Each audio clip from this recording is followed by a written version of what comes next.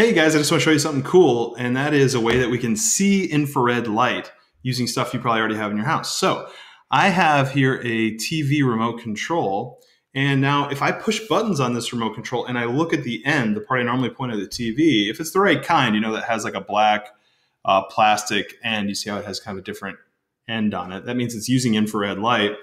I, uh, I can push the buttons and I look at it and I don't see anything happening. But if I point it to just a, any old camera, a digital camera, including this webcam, you will see actually a little bit of infrared light because the camera can detect infrared light even though my eyes can't. So check this out. I'm going to push the button right now. You see that?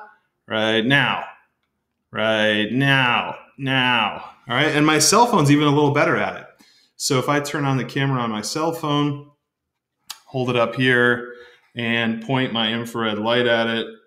Oh, yeah, that's pretty sweet. Now you'll see it looks purple and blue. That's not because infrared light is purple and blue, it's beyond red, it's infrared. But that's the color that the, the camera on my uh, cell phone assigns to it.